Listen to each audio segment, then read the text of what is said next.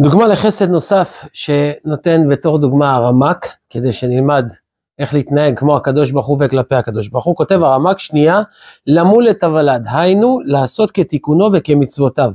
החסד השני שעושים עם הוולד זה מה שמלים אותו.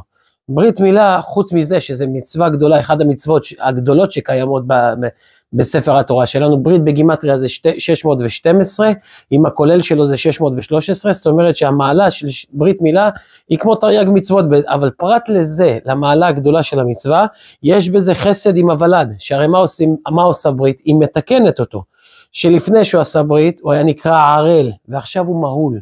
לפני זה אולי היה יהודי, החותמת, אות ברית קודש הוא יהודי, זה ברית המילה, ואם כן, גם את החסד הזה, צריך כביכול לגמול עם הקדוש ברוך הוא. איך? וזה על ידי שיחזיר בתשובה את פושעי ישראל. מה קשור לברית? על ידי זה שהוא מחזיר בתשובה והוא מקרב יהודים לדרך השם, הוא בעצם, הוא, הוא, הוא בעצם מסיר מהם את העורלה שלהם. איזה עורלה? עורלת הלב.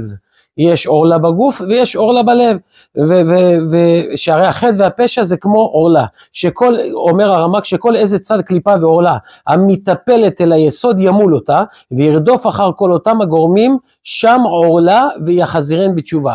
ואם ככה הוא יעשה, הוא יגרום שמידת היסוד שהיא נקראת בשם הצדיק העליון, יוסר ממנה העורלה, באופן שבהיותו מל את עורלת לבבם של עם ישראל, הוא גורם שיהיה הצדיק העליון בלי עורלה, ויעמוד בחוזקה לתקן כל הדברים הגורמים שם עורלה. ואיך עושים את זה? על ידי שיחזיר את עם ישראל בתשובה, ובפרט שמחזק אחרים במידת היסוד.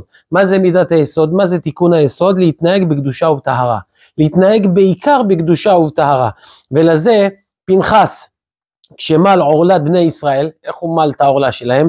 על ידי שהוא קינה להשם צבקות, והוא הרג את זמרי בן סלור, כשהוא זינה עם המדיינית כוסבי בצור, והוא נקם את נקמת השם. הוא, הוא, הוא בעצם, הוא הסיר, הוא מל את עורלת עם ישראל, שהם היו באותו זמן נגועים בדבר הזה, מה הוא זכה? הוא זכה אל הכהונה. ולמה הוא זכה אל הכהונה? כי הוא גמל חסד עם קורנו בסוד המילה, שמל היסוד מאותה עורלה. הרי בגלל אותו מעשה של פנחס, של פנחס כשהוא דקר אותם את שניהם, את האישה ואת האיש, הוא דקר אותם והוציא אותם לעיני כל המחנה, מה הוא עשה? מה קרה בעצם? הפסיקו עם ישראל לזנות עם בנות מואב, וזה היה כאילו כמו מעין ברית מילה שמסירים בה את העורלה, וזה חסד גדול עם הקדוש ברוך הוא. אז שימו לב שברית מילה היא יכולה להיות לא רק בגוף שלנו, אלא זה יכול להיות דבר שהוא ברית מילה בעורלה של הלב, שאנחנו מקיימים עם אנשים אחרים, ואז בזה אנחנו גומלים חסד עם הקדוש ברוך הוא, ולכן, מה הוא זכה? הוא זכה אל החסד, ולכן פנחס הוא זכה להיות כהן, הרי כהונה היא באה מצד החסד, אתה גמלת חסד, אתה זכית בחסד להיות כהן. וכן מזה ילמד אל כל שאר מידות החסד.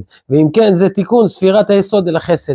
אז תראו שבעניין הזה של ברית המילה, אנחנו גם לכאורה רוצים לגמול חסד עם הקדוש ברוך הוא, אז כשאנחנו מקרבים אנשים אל השם יתברך, אנחנו בעצם מסירים את עורלת לבבם, וכמו שעושים ברית מילה בגופנו, אנחנו מקיימים ברית מילה ב- ב- בלבבם ובנפשם של אותם אנשים, ואנחנו מקרבים אותם אל דרך השם, וככה אנחנו בעצם מדמים לקדוש ברוך הוא, וכמו שהוא גומל איתנו חסד, אנחנו גם לכאורה כאילו כביכול גומלים חסד עם הקדוש ברוך הוא.